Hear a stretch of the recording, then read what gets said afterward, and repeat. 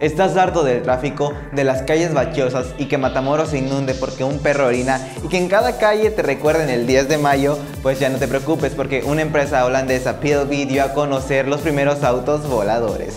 Los precios de estos carros intento de los supersónicos cuestan entre 399 mil dólares el más básico y el más nice cuesta 599 mil dólares. Así que si quieres uno ya deberías de estar vendiendo un ojo de la cara porque solo van a fabricar 90 de los cuales 25 llegarán a Norteamérica.